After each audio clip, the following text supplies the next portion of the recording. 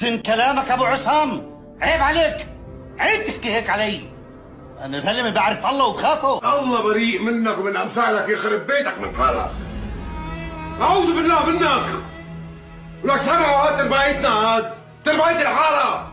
هي تربايتكم هذا هو سمعوه ما عاد فيك لا لموت ولا شرف فوق عليك بيضة رجال ولك ما عاد استحيت.